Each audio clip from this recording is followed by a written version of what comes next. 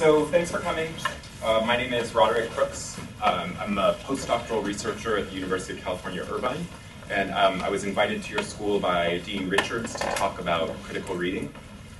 Um, so I'll give you just like a brief, I'll give you my resume, how's that, um, to explain to you how I got here. And then um, I'll tell you a little bit about the format of the talk, which I hope will be a conversation, um, meaning that if there is something that you want to talk more about, you could raise your hand and say, let's talk more about that, or um, if there's something that you are disinterested in, you could roll your eyes and I'll move to go faster. Um, but definitely we want to maybe have a little bit of back and forth.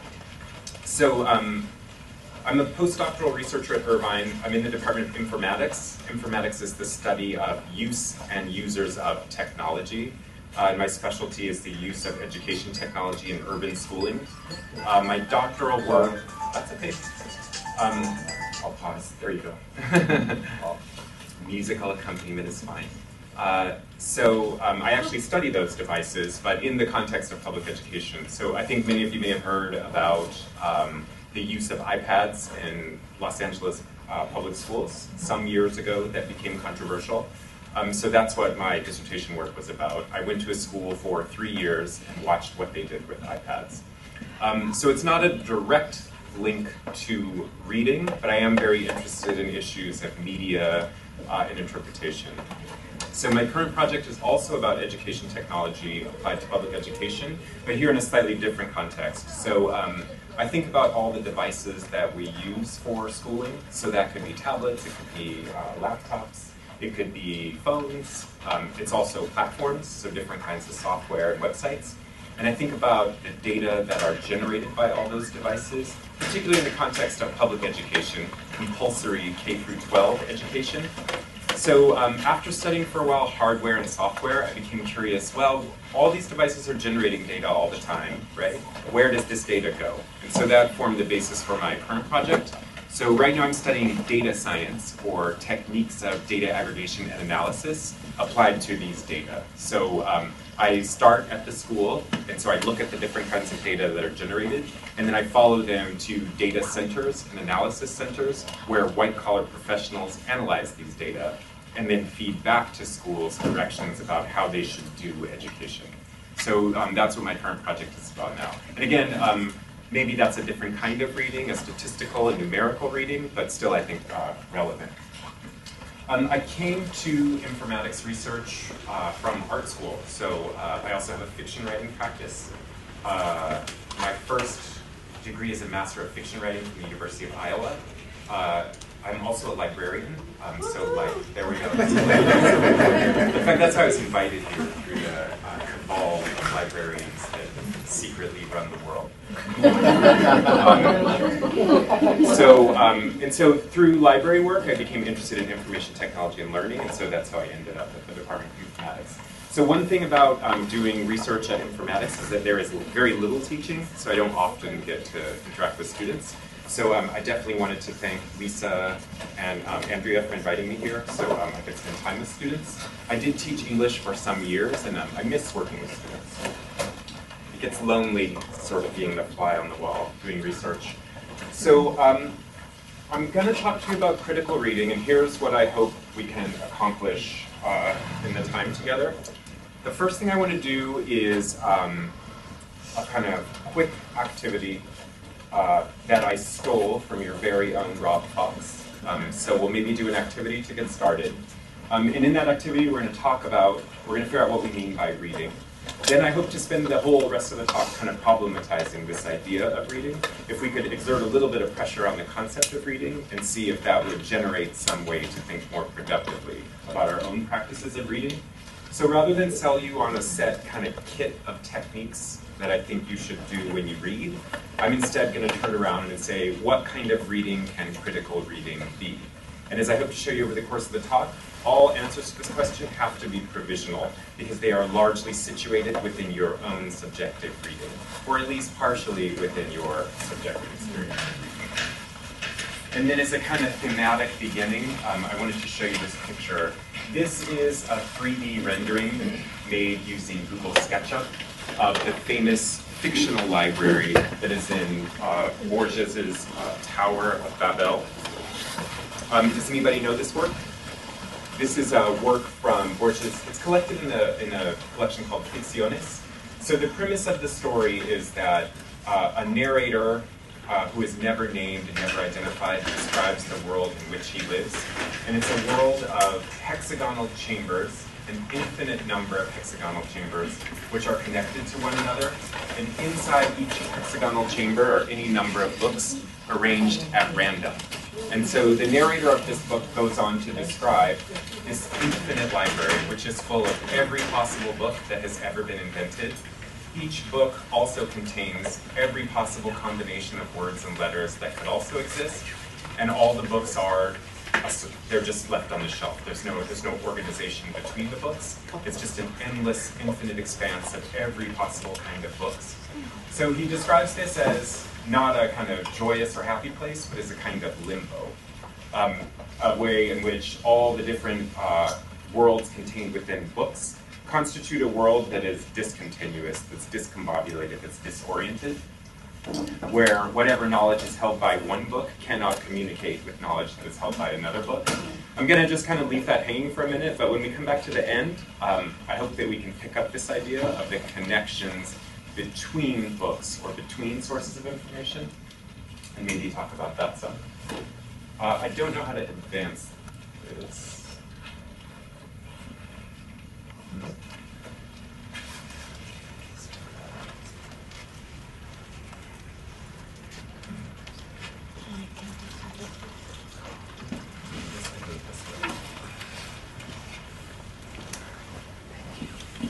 Okay, let's do this activity. So you'll need a writing utensil and you'll need something to write on. We'll do this, we'll do this maybe um, four minutes. How's that? So here's the prompt. Uh, I define critical reading as, and I'll just give you a minute to just get right into it. I'm actually going to start the timer now. So give me, give me maybe four minutes. I define critical reading as.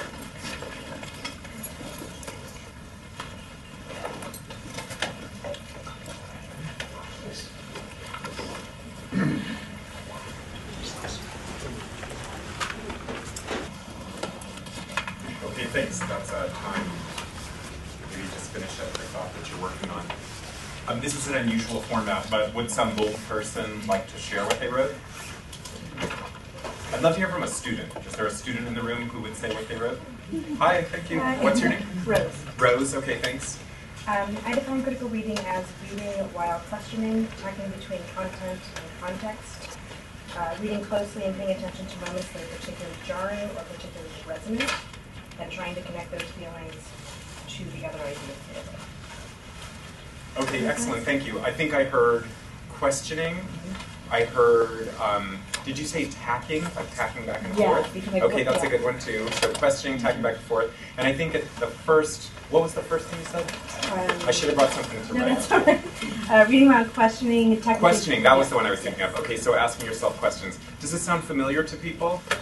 Okay, I think actually this is hyper familiar and perhaps even overly familiar. I think maybe we are already aware of what constitutes critical reading. And so a talk today that rehearsed these practices might actually just repeat what you already know. Um, were you going to read something also? Uh, yes. Can I hear it? My mind. Um, That's very impressive. For me, critical reading is a process that provides the opportunity to create understanding and also through analysis, observation, and create connection with the. Okay, very sophisticated. I'm actually very impressed too, since you had to hold all that in your head. I can't hold that much at one time, but I got process and analysis. Does that also sound familiar to people? So I know for sure that um, a list circulated prepared by Dean Richards, which prepared for you an excellent list, which had a lot of uh, sort of tools that you could use.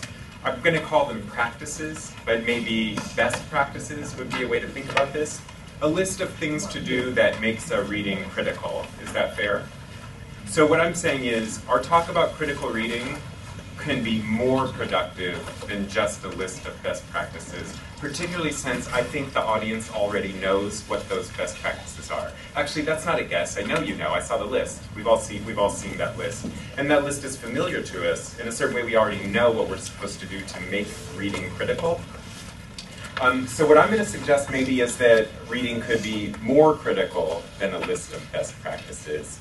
Um, but again, what that looks like will be provisional and contingent. So um, as a thought exercise, I actually want to do a sort of twin to this writing activity. Um, if I can figure out how to advance it. And we'll just go four minutes again, like we did before.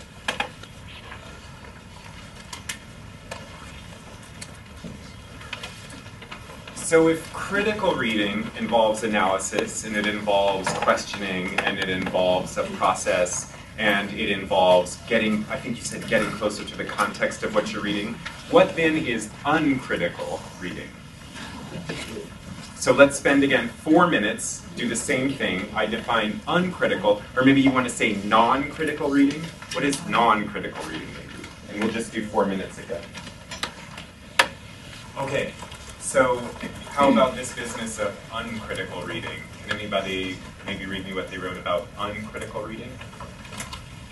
I have some. Oh, hi, thank you. Yeah, What's your I'm a- name? I'm a new student. Um, What's your name? My name's Najala Nori. Okay, thanks for reading. Yes, yes. Um, non-critical reading is expressing the inner self that you would normally not share with someone else that may judge you.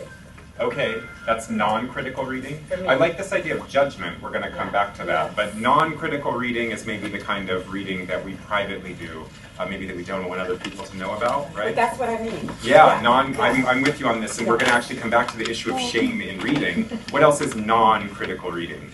Yes, please. Wrote, What's your uh, name? Uh, Phyllis. Hi. Okay, thanks. Um, I wrote non-critical reading is for entertainment.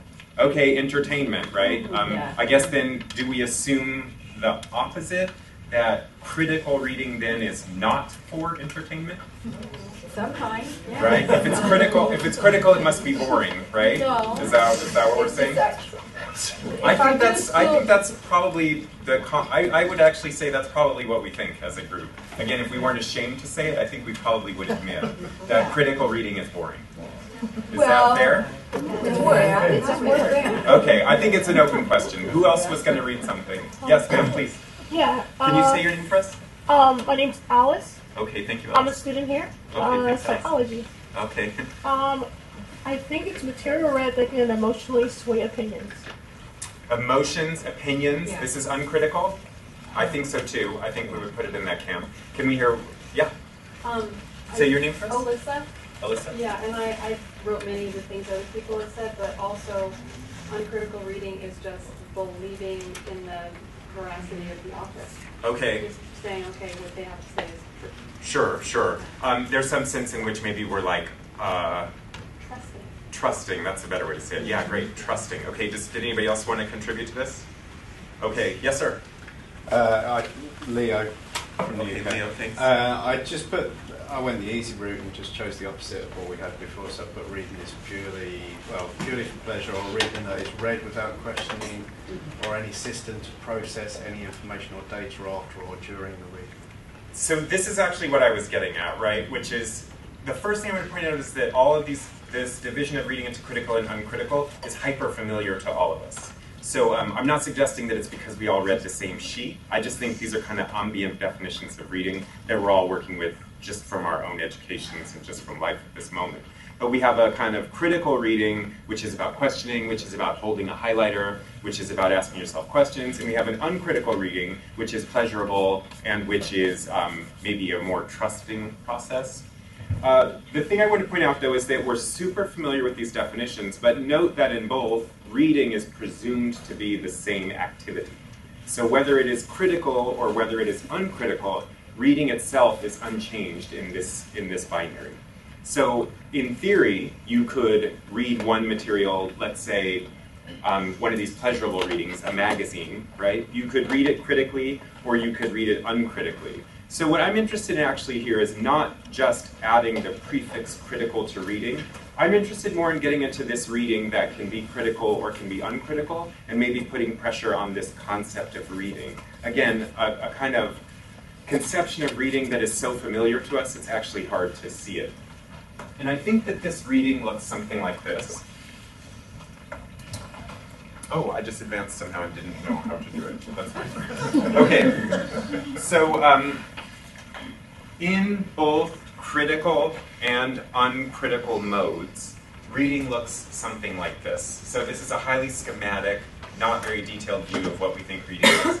And so on the left we have a text, here it's a book, and it is presumed to be a solitary unit which contains some kind of encoded information. So information that has been typed in, say, the English language, stored on the pages, and the book is a, is a material artifact. It's something solid. It contains a finite, fixed amount of information. So reading is when you take this unit, which is bounded and lives by itself, and you scan it for its informational content. In this view of reading, this kind of hyper-familiar view of reading, a human is just an apparatus for scanning text.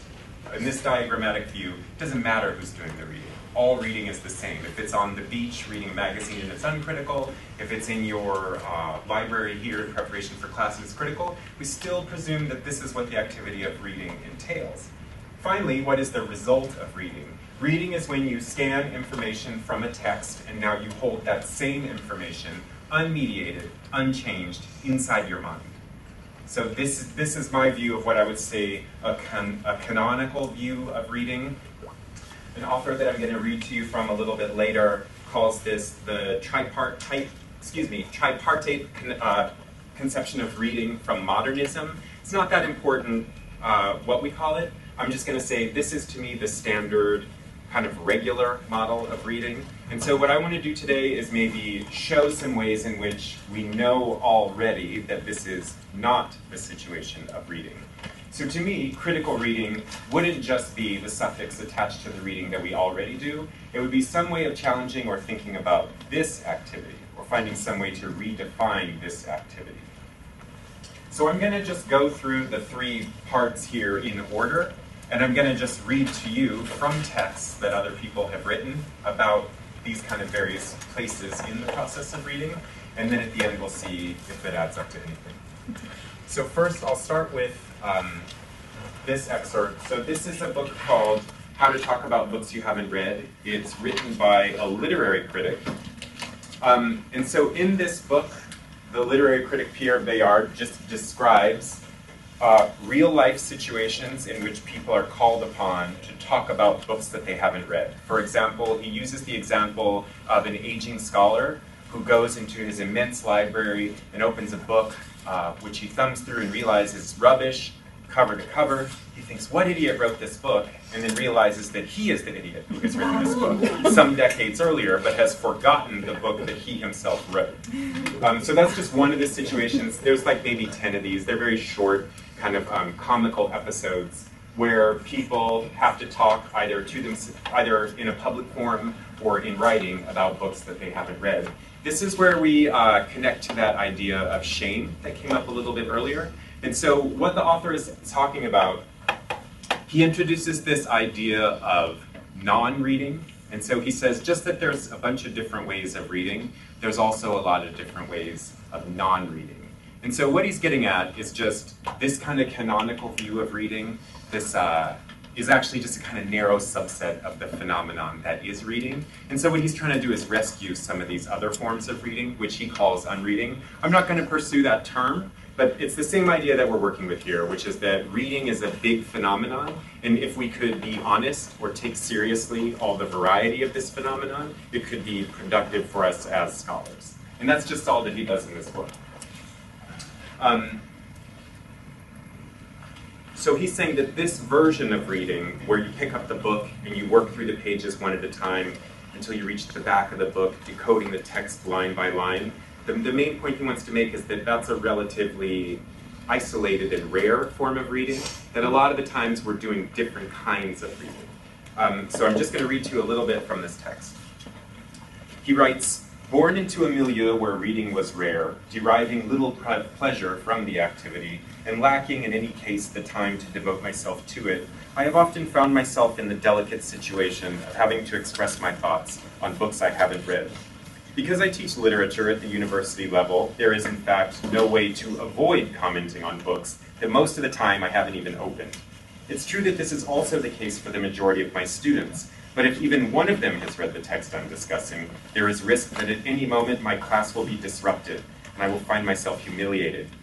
In addition, I am regularly called on to discuss publications in my books and articles, since these for the most part concern the books and articles of others. This exercise is even more problematic, since, unlike spoken statements, which can include imprecision without consequence, written commentaries leave traces, that can be verified. As a result of such all too familiar situations, I believe I am well positioned, if not to offer any real lesson on the subject, at least to convey a deeper understanding of the non reader's experience and to undertake a meditation on this forbidden subject. It is unsurprising that so few texts extol the virtues of non reading. Indeed, to describe your experience in this area, as I will attempt here, demands a certain courage, for doing so clashes inevitably with a whole series of internalized constraints. Three of these, at least, are crucial. The first of these constraints might be called the obligation to read. We still live in a society, on the decline though it may be, where reading remains the object of a kind of worship. This worship applies particularly to a number of canonical texts. The list varies according to the circles you move in, which is practically forbidden not to have read if you want to be taken seriously. The second constraint, similar to the first but nonetheless distinct, might be called the obligation to read thoroughly. If it's frowned upon not to read, it's almost as bad to read quickly or to skim, and especially to say so. For example, it's virtually almost unthinkable for literary intellectuals to acknowledge that they have flipped through Proust's work without having read it in its entirety, though this is certainly the case for most of them. The third constraint concerns the way we discuss books. There is a tacit understanding in our culture that one must read a book in order to talk about it with any precision. In my experience, however, it's totally possible to carry on an engaging conversation about a book you haven't read, including, and perhaps especially, with someone else who hasn't read it either. Moreover, as I will argue, it is sometimes easier to do justice to a book if you haven't read it in its entirety or even opened it. Throughout this book, I will insist on the risks of reading so frequently underestimated. For anyone who intends to talk about books, and even more so for those who plan to review them. Um, so I'll stop there, but uh, this is a moment maybe. Sorry, yeah. I hope this isn't a silly question, but is that whole thing tongue in cheek or is he serious? He's serious. He's a literary critic, and he's, he's definitely serious. Um, so um, maybe he's maybe he's ironic. Is that better than serious? But um, he is making the point to argue for this broader sense of reading. Um, he calls it unreading, but he's saying that this phenomenon is broader than opening the book and going page to page to page. So maybe he um, argues a little bit too strongly for non-reading or unreading. But I think the point that I wanted to make, or the reason that I borrow from his work here, is to just say that there is a great breadth in the phenomenon of reading that we should pay attention to. And so his big thing is unreading. That's not necessarily my thing. What I'm trying to say is I encourage you to reflect on your own experience of reading and the phenomenon of reading, which is what I'm saying. It's my answer to you about what critical reading is has to be provisional. Because as I'm going to show you later, a lot of what's going to come out of this depends on your own situation as a reader. And I don't mean your personal preferences. I'll, I'll talk about that in a moment. But he's a literary professor, and so part of what he's talking about comes out of relations between books in literary analysis. So I think that's where this non-reading comes from. Uh, did you find it liberating at all to, uh, to, to talk about the shame of non-reading, or I guess you're I guess you're not supportive of this idea? Uh, that's fair to say, yeah. Not supportive. Yeah, I, I mean, it just strikes me as, as quite honestly to to to pretend to have an intelligent conversation about a book that you haven't read just strikes me as lacking integrity. I think the thing he's getting at is that um, reading and non-reading are not binaristic opposed states. I think he's trying to get at the variety of reading and non-reading. So um, you should actually check out this book. It's not very big, and again, remember you don't have to read the whole thing. but um, there's a, so he talks about that situation when you've forgotten about the text. Um, he uses the situation where you've forgotten the text. He also uses the situation where you yourself are so changed that your previous reading of the text is unrecognizable. So they're not especially far-fetched scenarios. Um, but they don't, they don't speak to negligence and they don't speak to a failure of due diligence. That's not really what it's about. It's more about the, the kind of, um, how about this? Have you ever looked back at something that you wrote and not recognized it? Yeah. We've all had that. That's what he's talking about. That's what he's talking about. So he's really trying to take that um, that disconnection seriously and say, well, what is this? So he uses this provocative language of non-reading to do it, but that's the kind of weirdness that is in the phenomenon of reading and writing that he's talking about. Lisa, yeah. Oh, sorry, there. Hi. What's your name? Margie, Margie. Hi. I hope this ties in with what we're talking about, because I've been thinking lately, you know, I really want to write a book, Okay. but I don't know what I want to write about. Okay. So, and I don't know how to write a book. So I just keep writing, and it's not really a book yet. I just keep writing, and I've been writing for a while. So, but and at my age, I'm thinking, well, I don't know if I would really write a novel. I really don't know because I haven't read enough novels. So, because I haven't read enough novels, and I'm at the age I'm at, I'm thinking I shouldn't even try to be a writer. Well, I guess just to turn it around, what is the number of novels you have to have read at this age?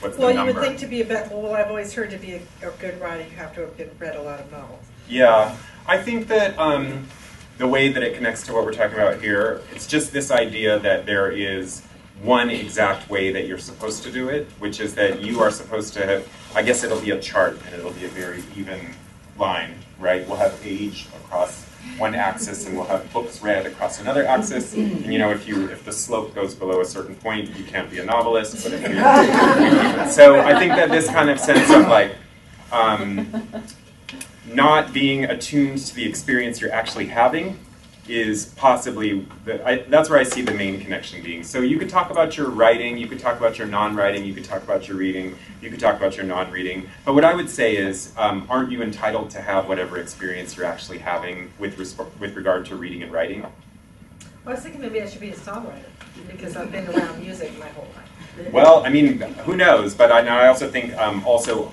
wouldn't you find out more by actually writing? So in this case, like the idea that there's only one prescribed way to do it is actually counterproductive. So what I'm trying to do today is turn that sort of um, counterproductive thinking into something that is generative. So I can't answer any of your questions actually, but um, I can maybe provide you with some, give you an opportunity to rethink them for yourself. And that's what, what I'm trying to do for all of reading actually at this talk. So let's go back um, to this model. Can I do this? Great. Of the book. Let's look here. So remember, the first thing we're talking about is reading. We're talking about reading having to do with books. We're talking about the book being uh, a set number of encodings of texts. The book is a kind of carrier of information. So uh, this is my, uh, well, this is my, I guess, my first problem with thinking of the book as being intimately tied to reading. Do people recognize this image? Can you say it again, sir? It like fingerprints on newspaper. Mayan, yeah, this is, uh, yeah, pictographs. These are images from the Dresden Codex. These are Mesoamerican hieroglyphs. So these are actually just kind of transcriptions from the actual text. But the text would have been printed on a kind of bark leaf, and it would have been a folding kind of codex. Um, and these are also these are pre-colonial. So uh, these images date from. Let me make sure I give you the right date. They were printed on wild fig tree bark. Uh, they were found in the Yucatan in the 16th century. Most were destroyed, however, by the conquistadors and Catholic priests. Uh, many were ordered destroyed by Bishop Diego de Landa in July 1562. He wrote, We found a large number of books in these characters, and as they contained nothing in which were not to be seen as superstition and lies of the devil, we burned them all, while they regretted to an amazing degree and which caused them much affliction. So actually, these aren't really books, it's a codex, so it's printed on linen. But the point I wanted to make here is that reading, which we associate with books, is older than books. So if we wanted to think about reading as, we can't necessarily attach reading just to books. We've had reading since before we had books. So if you think of the oldest kinds of inscriptions, the oldest kinds of inscriptions are cave paintings, which are themselves pictographs, right? So the book is just how we experience reading right now. But reading is actually independent of books. Or uh, exists, has some kind of have some kind of exi- excuse me existence, possibly independent of books. Here's how Yin Lu puts it in an article called Ways of Reading Models for Text and the Usefulness of Dead People. In modern print cultures, the reading function of text, for reasons social and cultural as much as technological, has become, at least ostensibly, the dominant one. Thus, the disproportionate attention paid to scholarly editing when academic humanists discuss textuality. The dominant image of reading in elite print culture is of an individual thoughtfully perusing a book, beginning on page one and continuing to the end without being distracted by the neighbor's children, without cheating by flipping to the end to find out who done it. Early modern printers, discouraged by their technology from efficiently replicating many of the complex textual devices available to medieval scribes, turned the loss of information into a virtue. The clean, linear typography of the printed page invited a kind of reading to which Western literature elites became, and still are, emotionally attached. But reading is not the only function of a text, even now, and in other historical, social, and cultural contexts, it might not even be the primary function at all. So, um, the main thing I want to show here, though, is that the book, as ubiquitous as it is, and uh, almost as hard as it is for see it, to see it, is actually a very specific cultural and historical product that has its own sort of story, independent of reading. There's a field called history of the book. Um, if people have heard of Marshall McLuhan, does anybody know Marshall McLuhan? What is his most famous sort of aphorism? The medium is the message. He was talking actually about books, and he was talking about uh, the predominance of books uh, after the invention of the Gutenberg press and then a sort of transition from a primarily print culture to a visual culture based on television. But uh, history of the book is the field that we associate with those kind of scholars. So if this is something that people were interested in learning more about, you could learn more about this from medieval scholars, history of the book scholars, and also communication scholars. So I won't uh, give you the history of the book, I'll just say it has one, and it's not the same thing as reading, right? Reading is a different kind of activity. Uh, related to inscriptions, but not limited to them. Um, so the first problem I just want to bring up about the sort of fixity of the book is that reading doesn't necessarily depend on books.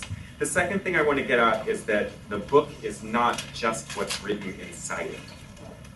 That the content of a book is not necessarily bounded just by what's inside the covers of the book. So even if we think of this canonical process of reading as opening the book from page to page to page and going through, um, what I'm saying is that part of what we need to know about the book doesn't rest within the book itself. So um, this will be of interest to faculty here. This is uh, Kevin Birmingham, who won the Truman Capote Award for his most dangerous book, The Battle for James Joyce's Ulysses. Uh, Kevin Birmingham is the first adjunct professor to ever win this prize. And so he wrote this kind of, um, he wrote about books, um, but he did so, I'll just read you the part he wrote about books, but for faculty here, you might be interested in the rest of the speech, where he goes on to sort of describe the situation of working in the university at present.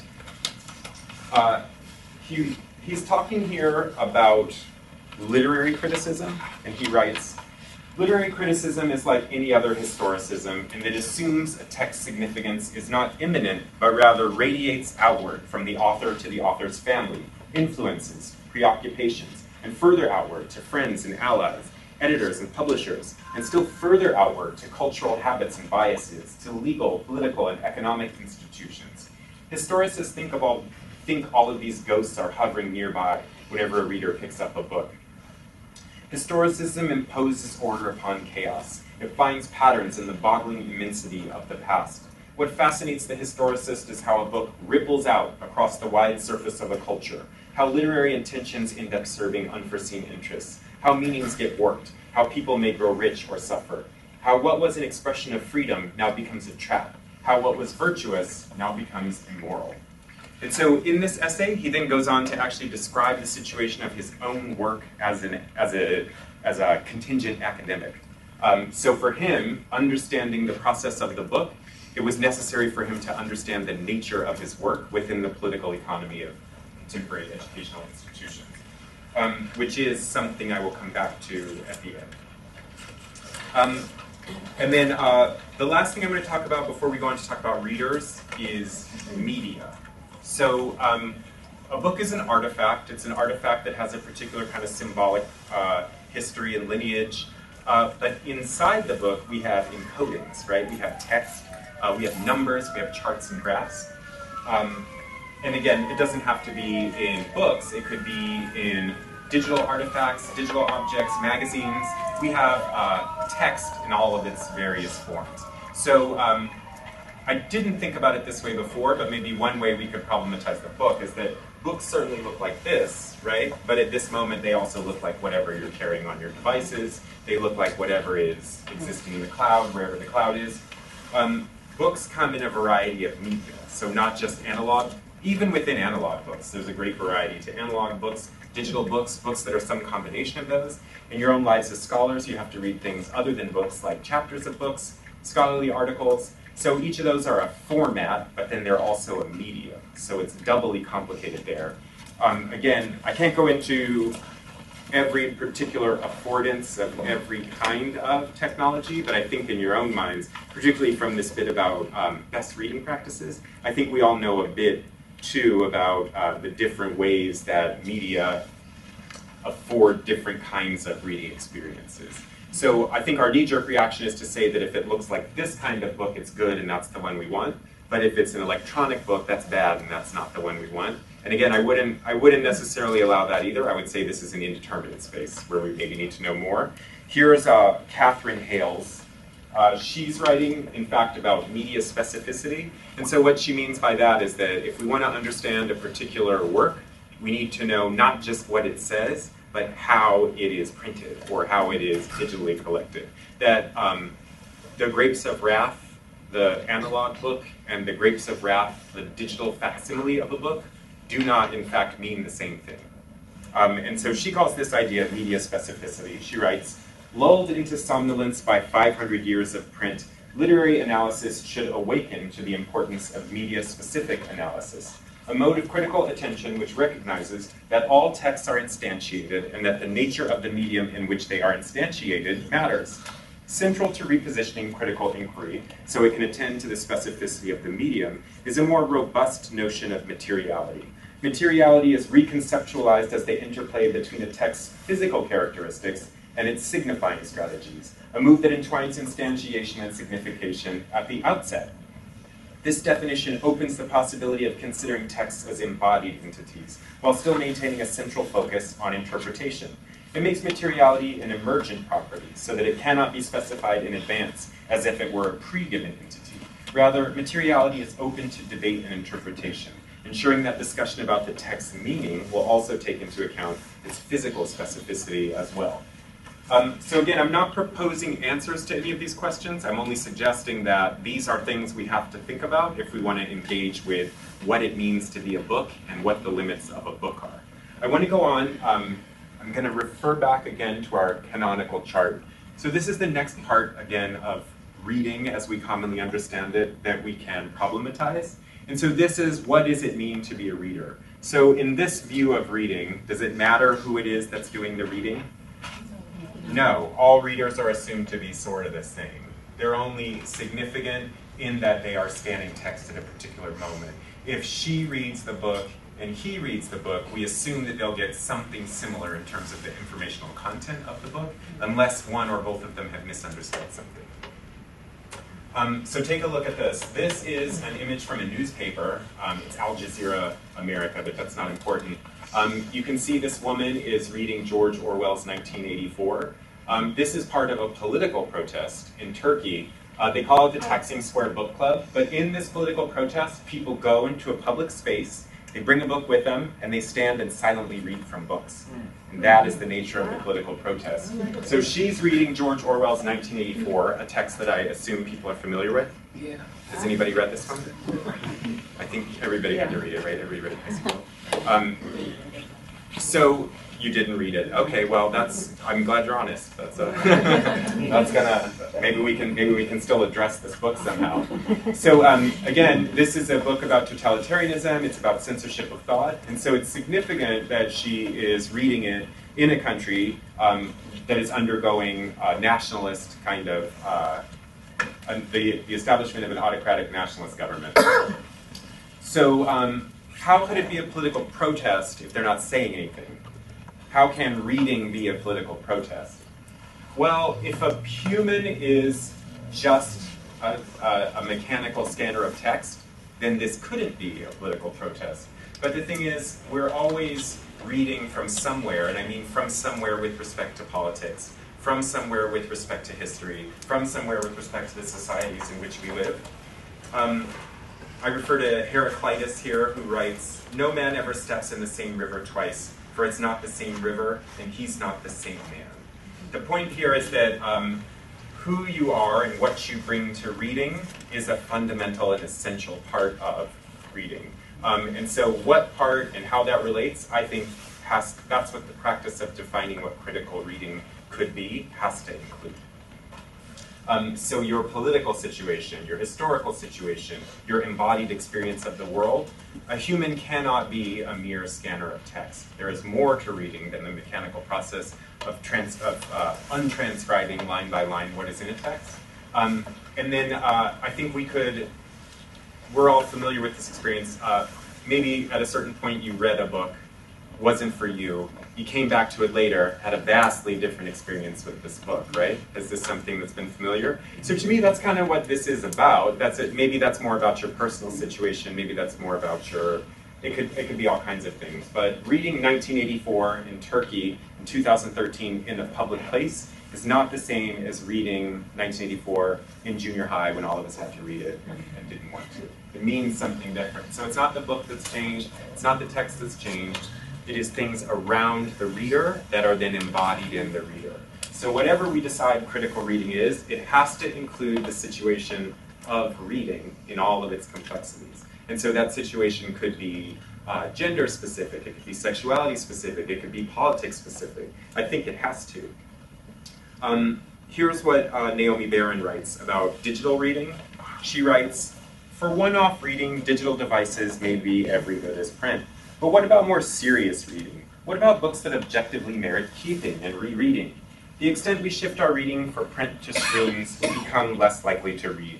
A decline in rereading would make a critical shift in the way at least some types of readers have encountered books for centuries. Reading in screens raises another question about the nature of reading. Is it an individual encounter with a text or essentially a social experience? The explosive growth of online social networking has triggered online reading groups, Goodreads being but one example. Historically, if you were literate, reading was typically an individual act. Is reading on screen tipping the balance from a solitary enterprise to a social one? And if so, with what consequences? Um, so, our final part of this definition of reading then is that once we have mechanically scanned the text, whatever the informational contents of that book are, go to the mind of the reader, unmediated, unchanged. So if you successfully scan the contents of the book, the information that's in the book is now in your mind, um, in its totality, unchanged. Um, so I'm going to go about this a couple different ways. Um, so can everybody see the picture in the upper left? It's a little bit small for those of you in the back. Uh, in the upper left, what you see is a picture of the Mundaneum. and it's taken in uh, about 1918. So um, the Mundaneum is sometimes called a Victorian internet or a steampunk internet. So what this was was a guy called Paul Otlet had a utopian vision, and he said somebody should get all the information that's in all the books in the world, and they should make it available to everyone. And so he had these women who are called, some of whom are called indexers, some of whom are called computers, but these are women who have been hired to read all the books in the world, and then they transcribe what's in the book, they distill it down to a couple facts, and they write it on the dominant information technology of 1918, which is the 3x5 index card. Um, and so then they file all these 3x5 index cards away. Lisa knows this story, I'm sure. Um, they file all these index cards away. Uh, and then they cross-reference them by author, by subject. But in this way, they meant to make all the information in the world available to everyone. They tried to extract the informational contents of those books just by writing it down on little cards. They would also have a reference service, so you could use the telegraph to their office in Belgium and ask them a question, and then they would go look it up in their universal index of everything. Um, it's important to recognize too, this is tied to a very utopian vision, right? That all the information in the world can be made available to everyone. And it separates information from the text. It separates uh, the intellectual contents of the book or all the books in the world from their binding. Um, the point I want to make here though is that what they're trying to get at is not what is contained in any one book. They're trying to get at what is contained in every book and also what is contained between books. So part of what they're doing is explaining the relations between things. So as they supposedly just kind of transcribe this relationship, they actually create it through this giant universal index of everything. But the thing to think about is that this idea and this impulse is old and very tied up with our way of thinking about knowledge. But um, it's the recognition that some of what we call human knowledge isn't specifically in a text, it's held between texts. Or maybe it's better to say, we can't have a piece of knowledge that lives independently. A piece of knowledge has to be incorporated with all the other things that are known. So one, um, I don't know what we want to call a unit of information, let's just call it a byte. Uh, it isn't valuable, it isn't knowledge until it's related to all the rest of human knowledge. Another way of saying that, take a look at this. Um, have people seen this kind of diagram before? This is a pretty uh, popular form of data visualization. This is, um, what is visualized here are bibliographic relationships between uh, different kinds of medical literature, or actually the subjects inside different journal articles. But this network diagram with these, these dots that are called nodes and these lines that connect all the different nodes and nodes that are bigger if they're connected to more things um, can be used to, to represent all kinds of data. Um, here, though, what they're trying to show you is this is a picture of publications from a famous database called PubMed, and this is a visualization of publications that are about heart disease. And so what is visualized is the way that all these different publications about heart disease, all these different dots, cite each other or mention each other in studies. So these ones that are big dots, all the papers that are written about heart disease cite this paper. All the picture, all the ones, all these other ones, these kind of bigger, more central ones, everybody refers to those canonical papers on heart disease. So if you want to write about heart disease, you have to connect to this guy. This is, um, what it represents is actually not super important to us, but again, it's just a contemporary way of looking at this same thing. That often what we want to know about or what we consider knowledge or what we, what we need to know about is held between things. It's held in a network of things. So if you want to know about heart disease, one publication about heart disease is great, right? But even if you read all the publications about heart disease, that's still not exactly it. What you need to know is how they fit together. That's the thing that you need to know if you want to understand heart disease. And then I'll end here with this last one. Um, does anybody recognize this?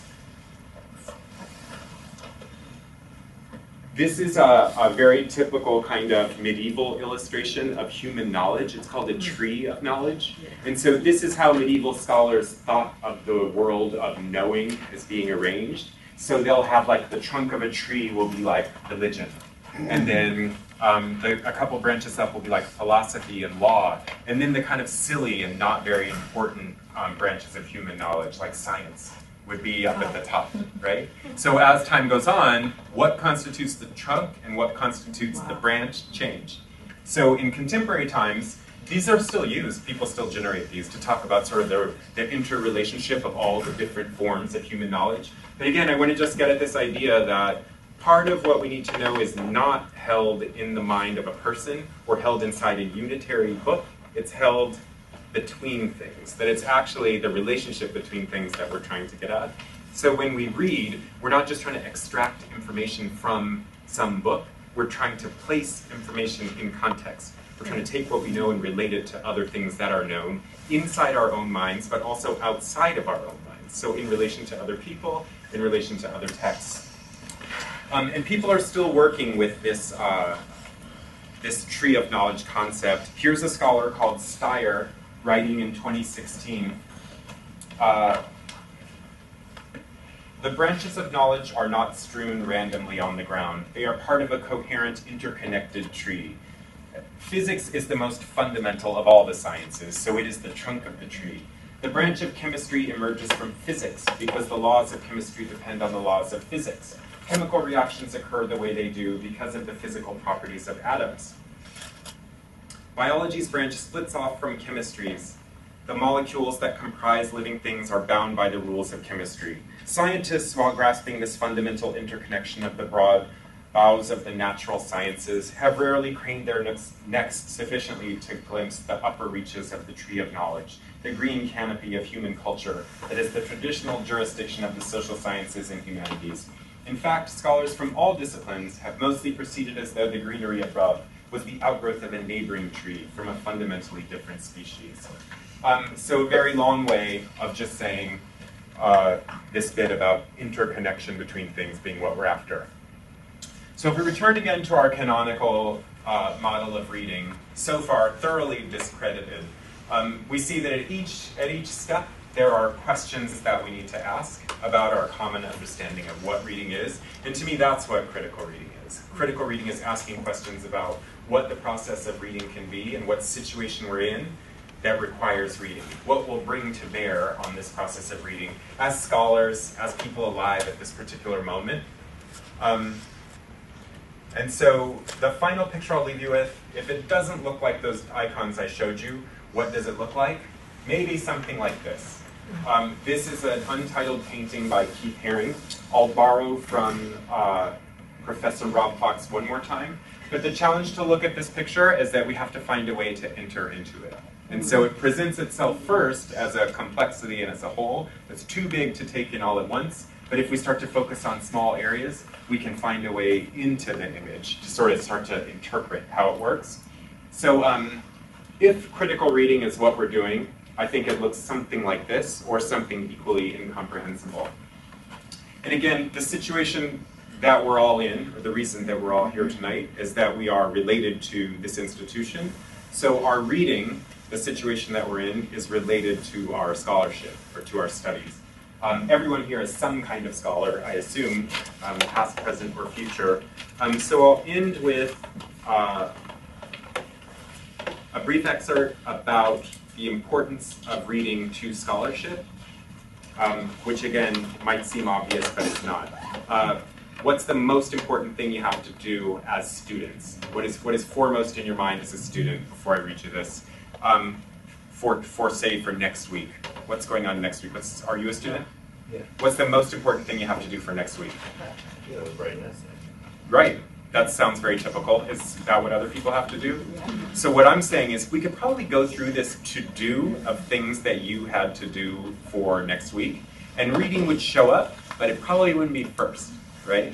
like the actual business of your student life, the transactions that you do to be a student, involve turning in papers, going to classes. Um, they involve all kinds of doing problem sets, right? In theory, they involve reading, but being a, a, scholar at this particular moment involves a certain kind of sidelining of reading. We could do the same thing to those of you who are faculty here, who are working here. If I said, what do you have going on for next week? What's the most pressing thing? It would be like um, preparing a lecture, writing an evaluation, um, doing administrative work, reading would actually sort of recede from it. So there's a way in which it's assumed, because we're scholars, we all have a handle on reading, we know what it is, and we do it all the time. But in reality, I think if we reflected on our own experience, we'd see there's a way that it could kind of easily slip away from us, that all the work of scholarship can demote reading. So um, like here's Steyer again. Uh, away from scholarly life as monastic and isolated uh, in the present university governance model, emphasizing calculative practices based on, for example, publication, data, scholarly reading is easily downplayed as an inherited privilege, not of necessity being conducive to either academic success nor scholarly recognition. In contrast, by advocating scholarly reading as a centrally located professional practice in scholarly communities, this article emphasizes that scholarly reading is the primus motor of academic knowledge production to discredit scholarly reading as what directs attention away from more pressing academic concerns within the existing governance model thus undermines the long-term commitment to scholarly know-how and expertise. A more nuanced and detailed debate regarding the practices of academic knowledge production and the role of scholarly reading is needed. Um, so, to summarize what we've done so far, we've talked about a model of reading that is sort of latent in the distinction between critical and uncritical reading. And we said we don't want to just append a set of best practices to our reading, although those best practices certainly we should follow. We want to try to come up with some other way of understanding reading. So all I've really done is present some questions about reading and places to look. But uh, in my mind, your responses to those questions are what critical reading would be. Um, so again, I can't, I can't answer them for you. I think those are the kinds of things that you might want to address um, and should address given the significance of reading to scholarly life. Okay? That's it.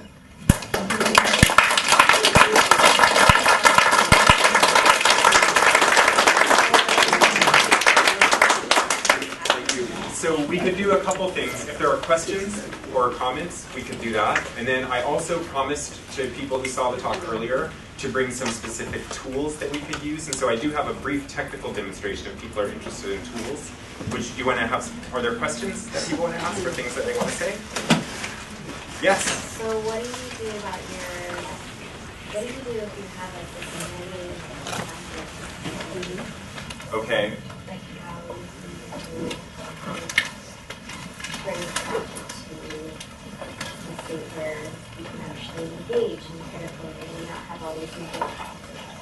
Well, we talked about that a little bit briefly, right? Like as a scholar, if I'm your teacher and I ask you to read, I kind of treat you like that reading machine out of necessity, right? And so you're not allowed to dislike the text or have a kind kid or some other present commitment. I just assume that once you disappear from the classroom, you go off into the world and you just you return with the, that informational content absorbed into your mind. So um, I'll have to turn it back to the audience to see what tips they use. Um, but I think what you're getting at is when you say negative views of reading, um, are you talking about the experience of, of reading being unpleasant, or are you talking about like things, feelings about a particular text? Okay, so like negative feelings of reading as a whole. Are there other people who share those sentiments? I'm sorry, what's the question? The question is like, how should we, in developing our practice of critical reading, how would we accommodate negative feelings towards reading? Towards reading itself. I think so. Isn't that what we're talking about? Or towards this kind of reading, towards the reading that is required for doing academic work, for that kind of reading that we're kind of valorizing in this discussion. Those things that I think we all probably would just define as that very easy way of understanding critical reading, the kind you have to write about, the kind that you do in preparation for writing papers. So um, I would have to hear from the group then what people have done. I can tell you what I did, but I don't, I don't know if it would help you. But I think maybe the broader question is like, what is the role of pleasure in reading? Does it always have to be unpleasant to do the kind of reading that you have to do for school? Yeah.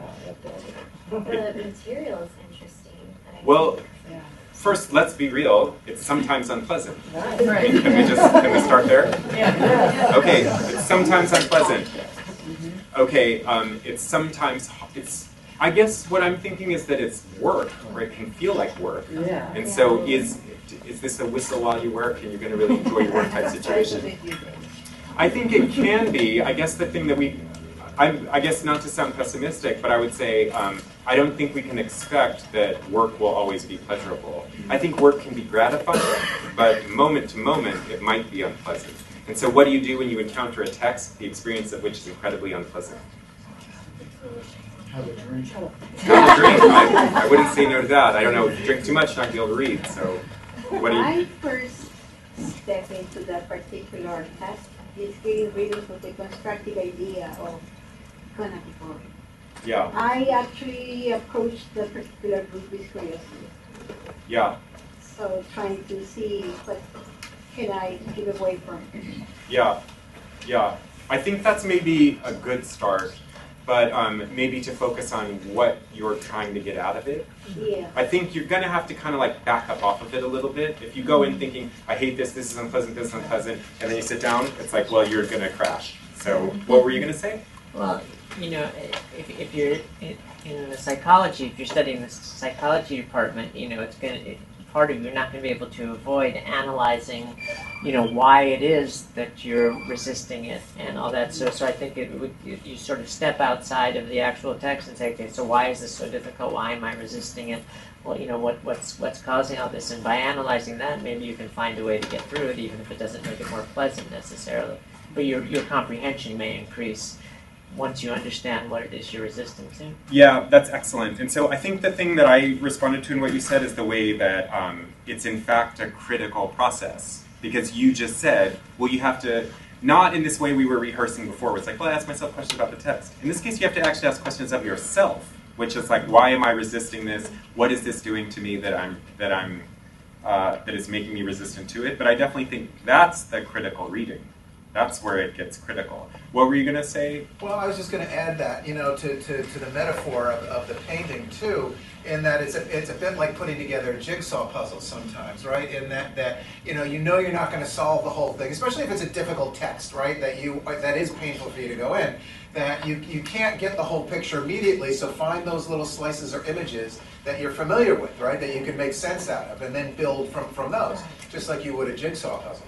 Yeah, that's um, that's definitely it. But I think what we got, again, these are just general kinds of things. This is going to be a process for you. But I think for sure, maybe ask yourself questions about how you feel about it. Maybe find a way to be curious about it or see if there's something in the text that you could try to take away from it. Or maybe this, like, uh, find some small part of it that you could enter into. I think also um, you have to be honest about why you're reading. And so why you're reading is that you're a student and you've been compelled to read it, and that you're going to use it for something, ostensibly for a paper, ostensibly for your own understanding of the field. So um, in my own life, when I get something that's difficult to read or that I feel like it's going to be difficult, I remind myself that this is my work, this is my job, and then I treat it like I take I treat reading like I do any other job. I take a big job, I break it down into small manageable parts, I put it on the clock, I time myself if I need to. But um, what I'm trying to get out is that part of the work of being a scholar is dealing with this very issue. This, and then again, it, all of our answers are just provisional. It, it's going to depend reader to reader. What were you going to say? Well, I forgot no. to ask your name. I'm sorry. Jesse. Jesse, what were you going to say? And well, we also assume that we all know how to read because oh, we can see the words on the page and, and, and you know we're comprehending them to some degree. But actually, it's a process. It's a learning process. We don't know all know how to read in the same way. We don't know how to read, you know, to, to, to the same level of understanding. So I feel like when I'm reading a book, I'm learning how to read that book as opposed to every other book. And also, you know, some books are just more complicated, and the ones you're going to be reading for these courses are going to be, you know, even more complicated. So it, it's improving you as a reader, and that maybe is a way to look at it. Like, you know, the benefit I'm getting out of this may not be the actual material, but I'm learning how to read that material critically and absorb what get what I need out of it. Yeah, and so um, I guess I would go again to this part of the diagram where we talked about the human just being some kind of information scanning apparatus. I like, um, did you say Jesse? Yes. I like Jesse's idea that the, the, the text is training you how to read it. Yeah. Because then we could kind of imagine a situation where the author of the text has done some work creating this text, creating the text in this shape, not some other text. And then you, as the reader, you have to do some work too. And so you're going to try to meet in the middle. And so um, the middle, if you're lucky, right? Because some, some texts are very demanding. They demand that you get all the way over here. Some texts are not very demanding, so it's like it's very easy to get, right? But I think what you're talking about is a situation where a text is being demanding. And so we, we experience, you use the word negative emotions, but I, I think that sense of um, someone being demanding is can be a very negative sensation. But I, I think that's what's happening is that you've encountered a text that is making demands on you. And so you have to kind of de- well, what's in it for me? What's a reasonable amount of demand? And how can I meet these demands in a way that will also work with all the other demands you have to your teacher, to your classmates, to your life as a human, your boss, maybe your kids, I don't know. Um, yes, sir. Yeah, so one of the things that I've experienced over time is that reading to me for, has become for me more of a sort of a four-dimensional experience than a two or three-dimensional experience. It's not, you know, the I think in school it, there's this urgency to read this thing and understand it now, as if that's the presumption, that, or the, that that's the the sense of obligation we have to it. Whereas I think, uh, you know, I've had, just like texts change over time, mine is, I'll wake up in the middle of the night and think about something that I read 10 years ago, mm-hmm. and, it, you know, it will occur to me in a completely different way than it did then. So, I mean, I'm, I'm always asking students to be the patient with what they read. It may make absolutely no sense to them now. And that's not a lost opportunity. It's actually an investment in a future opportunity, or that has the possibility of being an investment in future opportunity. Yeah, that's that's beautiful. And so I think too that invites us to maybe create critical reading practice that has a very long frame of reference, right? That um, the things that you, you could have a, a reading practice where you encounter texts without knowing. Um, I forgot to ask your name also. I'm sorry. Donald. As Donald is saying, that will have some effect on you that is not immediately uh, apparent. But I do want to say on behalf of students, they are in a transactional kind of setting, right? Like Oh, you yeah. have the stuff you need to do for school. And so what I'm saying is like, um, it's possible to do both of those things, to get the transaction that you need accomplished, to get the stuff you need done for the paper, and to participate in some kind of practice that will be enriching at some point. I think actually most teachers probably, if they had to dump one, would dump the transactional reading, right? They would just be like, well, read whatever is going to fulfill you as a person. But that's just, that's not how school works, right? But what I'm saying is somehow you have to recognize, reconcile these competing demands, and then hopefully you could build something in your own practice that would enrich you further away. So you get the transaction and you would get enrichment later. But again, you're gonna have to you're gonna have to work through that. It would definitely be work at some point. I wonder too, Donald, is there um, a relationship between the sense of pleasure that is often missing from reading and what you're talking about? This kind of like time element. Is it just a case of delayed gratification? I, I I'm guess the I'm wrong asking. person to ask because I, I, you know, for me, reading was such a traumatic experience. I'm, I'm dyslexic, so and have been, you know, and, and have had to sort of train my brain to take. Reading is still, I don't want to say a painful act, but it's a, it's always a challenging act. Yeah. For me. Yeah. And that's actually that experience that I just described is the thing that made it a richer experience for me when I discovered that that was, you know, it's, I think to, to your point about the transaction, the transaction has this tendency to kind of obscure the actual long-term experience of the reading because we have to read it now so that we can write a paper or so that we can come to class feeling like we're prepared, you know, to discuss the text. But it's so much, it's so much, and it has such, such a much longer shelf life than that. If I think if you if you if it's allowed to do that. Yeah, I definitely often say like to make space for it. So like to make space for reading in that way. Then you could sort of get into that that that zone that he's talking about. Not guaranteed, but certainly possible. Purely transactional view, it's like, well, you're never you're never going to get there. Um, uh, thanks for that. Are there other questions? I, I was just gonna kind of piggyback on what he was saying. Yeah, I saw you nodding. it- Yeah, it's kind of like, you know, how do you write a paper on that? I mean, something that you read that you really didn't really get much out of, and if if I if things happen like that for me, and, and it has in some cases where I think about something I read five years ago or something like that, and I, and I get that aha moment.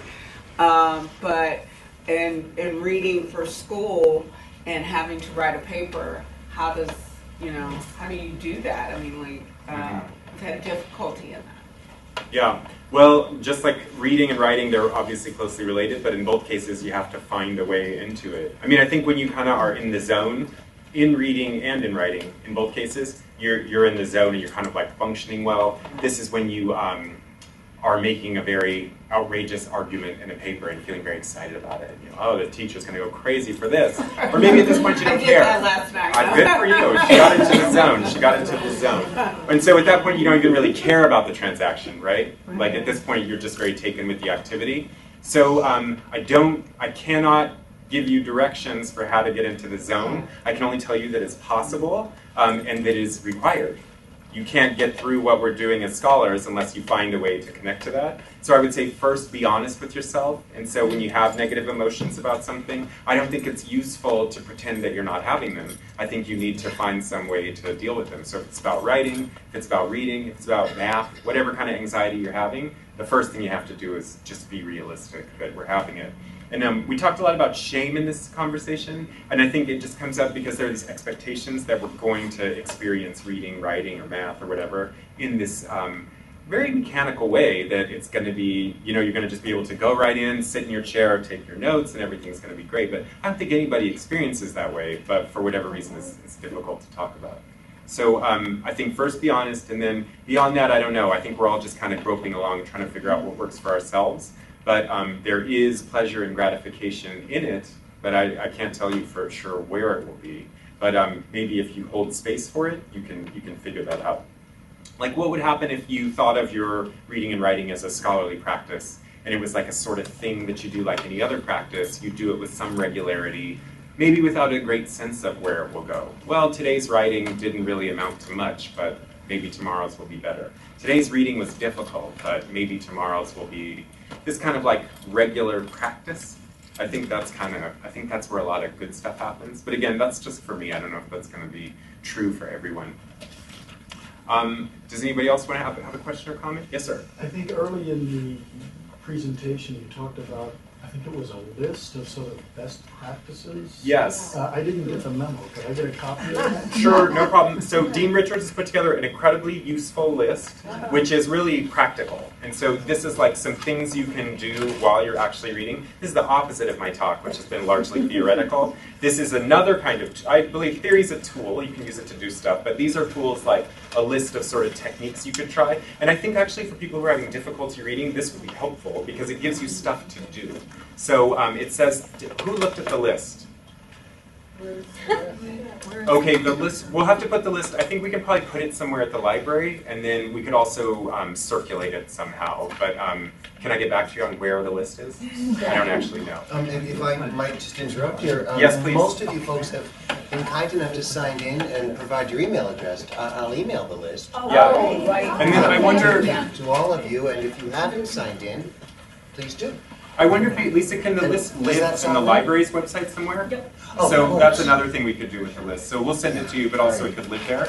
But this, again, I don't mean to undercut the usefulness of this list. This list is a is every resource you could possibly need, all self-guided to help you with your own reading practice. And so I'm sure you'll find some things in there that are useful for you.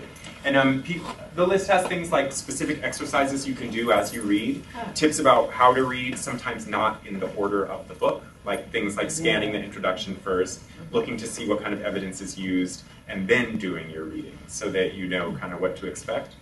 Um, so these are the kinds of things that are there. And so I didn't mean in any way to discount the importance of practical skills. Um, I just meant to kind of give them a house to live in. Um, are there other questions? Okay, so thanks very much for coming. I appreciate you having me.